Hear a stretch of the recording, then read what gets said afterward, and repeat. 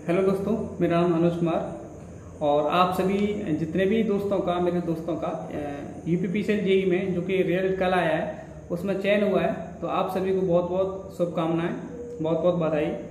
और आज का जो वीडियो होने वाला है, वो आपके डॉक्यूमेंट वेरिफिकेशन के बारे में होने वाला है, कि आपको कौन से कौन से डॉक्यूमेंट्स चाहिए वेरिफिकेशन के टाइम पे।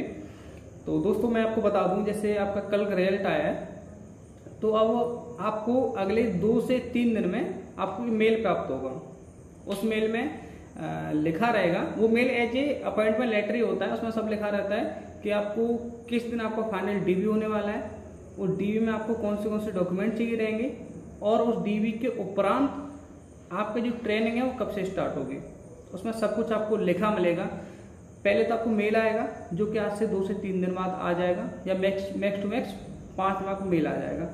अब उसके बाद में आपको वही जो मेल होता है, वही बाई पोस्ट आपको as a appointment letter by post भी आता है, ठीक है? तो अब मैं आपको बताता हूँ कि डॉक्यूमेंट वेरिफिकेशन में जो फाइनल डीबी होता है, उसमें आपको कौन से कौन से डॉक्यूमेंट चाहिए, ठीक है? दोस्तों, घबराइए ना, बहुत नॉर्मल डॉक्यूमेंट होते हैं। कुछ एक दो डॉक्यूमेंट्स है जिसमें थोड़ा टाइम लगता है।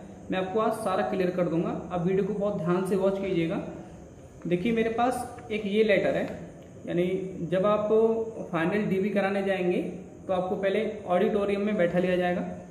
आप सबको ये वाला लेटर दे दिया जाएगा। अब इसमें क्या मैं आपको बता रहा हूँ। इसमें सब कुछ लिखा हुआ है कि आपको कौन सा कौन सा डॉक्यूमेंट्स चाहिए और वो डॉक्यूमेंट्स किस सिक्वेंस में लगा होना चाहिए। तो अब मैं आपको बता रहा हूँ। देखिए, सबसे पहले आपके पास में प्रवेश पत्र, जो एडमिट कार्ड होता है, वो सबसे पहले एक नंबर वो चाहिए। फिर उसके बाद में पहचान पत्र। पहचान पत्र में आपका आधार कार्ड नंबर तीन पे है। निवास प्रमाण पत्र। आप जहाँ के रहने वाले निवासी हैं, नंबर तीन पर आपका वो चाहिए। तो सबसे पहले आपका एडमिट कार्ड उसके बाद आपका पहचान पत्र, जो कि आधार कार्ड होता है, उसके बाद में आपका निवास प्रमाण पत्र। जी, अब इसके बाद में आपको और क्या चाहिए?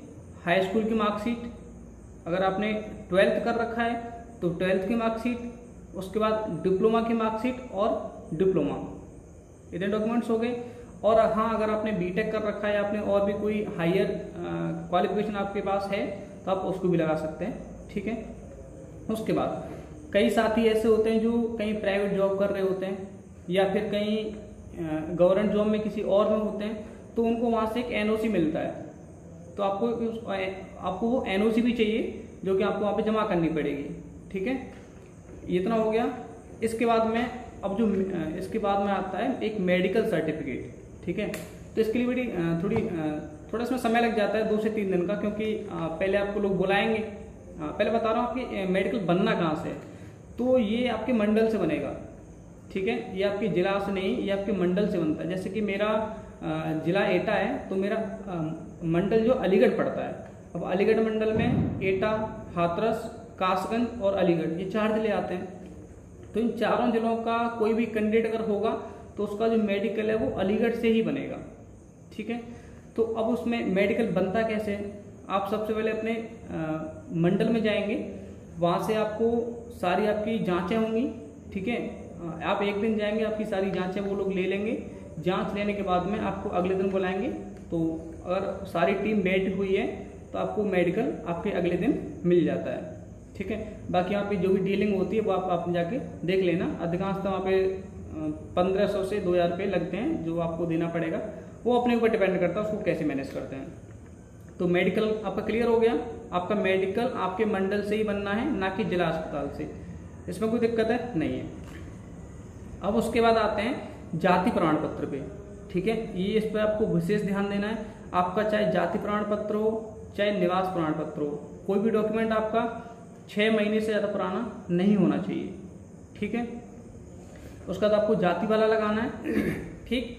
उसके बाद में, अब कुछ होते हैं घोषणा पत्र। घोषणा पत्र में जैसे आपका कोई जैसे निष्ठा की शपथ है है ना? गोपनीयता की शपथ है। इसमें कोई बहुत बड़ी बात नहीं होती। जब आपका जो अपॉइंटमेंट लेटर आएगा, उसमें सारे फॉर्मेट आपके लिखे होंगे। उसमें कुछ नहीं करना, आपको अपना नाम भरना है और नीचे हस्ताक्षर करते जाना उसमें कुछ नहीं होता। ठीक है? वो सब बहुत नॉर्मल चीज़ उसको आप आराम से बनवा लेंगे। जी।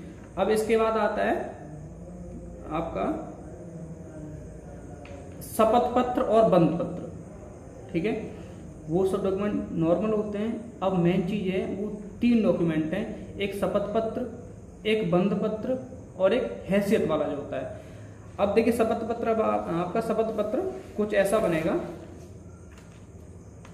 ये आपका, ये तो बॉन्ड है। और ये आपका शपथ पत्र देखिए आपका कुछ ऐसा बनेगा शपथ पत्र ठीक है? तो आपको शपथ पत्र में ध्यान देना है। शपथ पत्र पे आपका फ़ोटो लगता है, ठीक है? शपथ पत्र पे आपका फ़ोटो लगेगा और बंद पत्र पे आपका फ़ोटो नहीं लगेगा, ठीक है?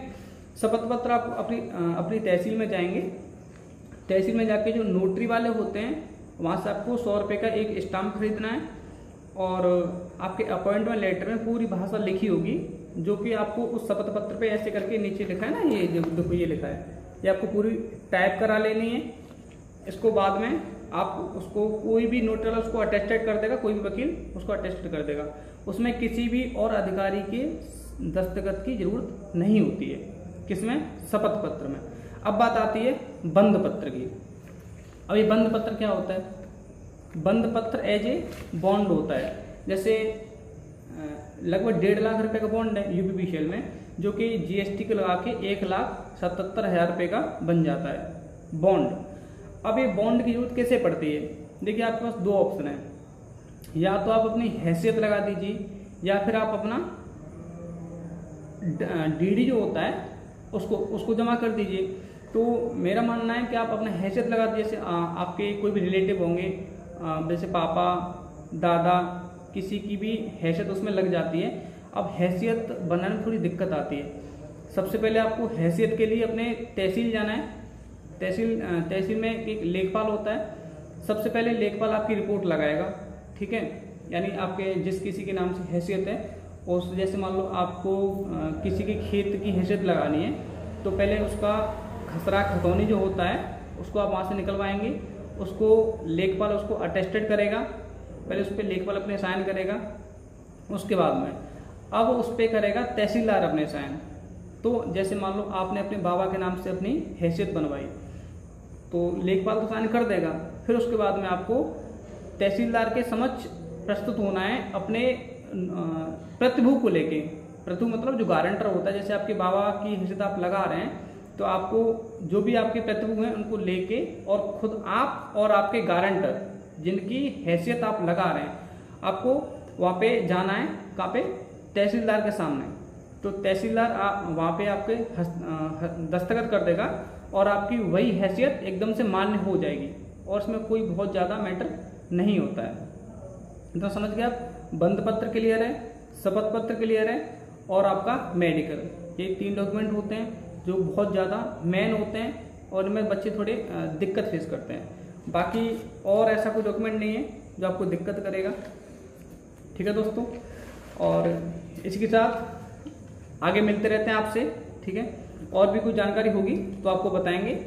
और जुड़े रहिए मेरे साथ। अभी थोड़ी समय की व्यस्तता है तो आपको समय नहीं दे पा रहा हूँ। फिर भी अपनी जो ई e की यादें हैं, उनको मैं टाइम टू टाइम अपलोड करता रह रहा हूँ। और आगे भी एकदम बहुत अच्छी अच्छी वीडियो आपके लिए लाता रहूँगा। तब तक के लिए साथ जुड़े रहिए और चैनल को सब्सक्राइब कर लीजिएगा। Thank you